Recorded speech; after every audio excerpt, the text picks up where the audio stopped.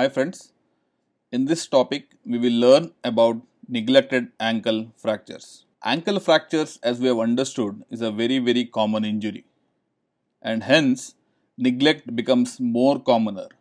Why is that? Because many a times the patients might feel that he had a very simple uh, twisting injury and he might not seek medical attention for a significant period of time thinking it may be some sprain and then after few weeks when the pain does not come down he might seek medical attention by which time it would already be considered as a neglected ankle injury. But what is the definition of neglect? Even if we search the literature we cannot come to a proper definition of what time duration can be considered post which we can label it as neglect. Whether it is 2 weeks 3 weeks, 6 weeks.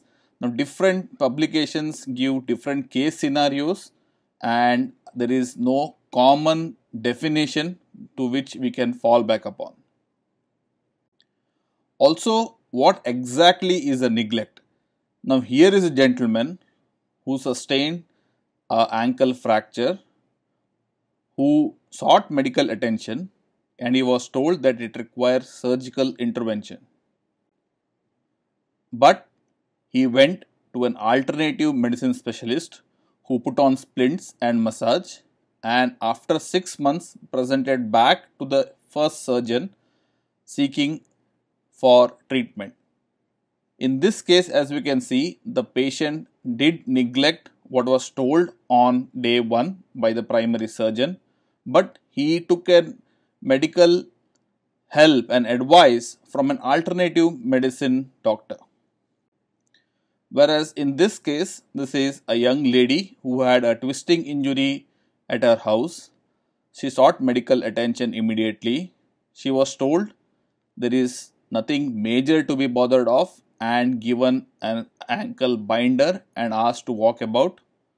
And six weeks later, the surgeon realized that it was a syndesmotic ankle injury to begin with and hence now the patient has a so-called neglected but the neglect might have been the surgeon's understanding of the injury and maybe better investigations or better assessment of the initial injury might have helped this patient. So what is the issue?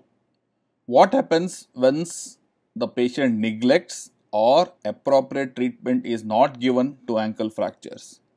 What we need to understand is even when there is a minimal amount of shift of talus as minimal as 1 millimeter it amounts to nearly 40% reduction in the tibio-talar contact area. Now this changes the biomechanics of the joint and there will be abnormal loading on the joint. So this causes increased stress on the articular cartilage leading on to osteoarthrosis of the joint. As we can see in the picture, there is very very minimal tilt of the talus, but this will easily progress to a degenerated joint in few years. So any malunion of the fibula following a malleolar fracture completely changes the way the joint is loaded. It changes the biomechanics. Hence, we need to understand that we have to reconstruct the length of the fibula and get the alignment back restore it to as normal as possible so that further progression of degeneration is prevented and this has been proved to reduce the chances of secondary arthritis even when done as late as 7 years after the injury. Now ankle cartilage unlike other joints of the body like hip or a knee has a significant resilience to prevent degeneration, prevent secondary osteoarthrosis and hence it is told that secondary reconstruction could be undertaken in almost all cases when already the secondary changes has not been seen in the joint and this indirectly helps because it prevents further progression or further worsening of the degeneration. The most common malunion is shortening, especially of the lateral malleoli and external rotation of the distal fibula. So what happens is that with this there is a widening of the ankle mortise. Due to this there will be a lateral tilt of the talus and this can lead to secondary flat foot. Overall on the long run all of these combined will lead to a degenerative arthritis of the ankle joint. So once there is a neglect it auto automatically means there is malunion in most cases. In few cases it may be non-union but this means that the biomechanics has changed.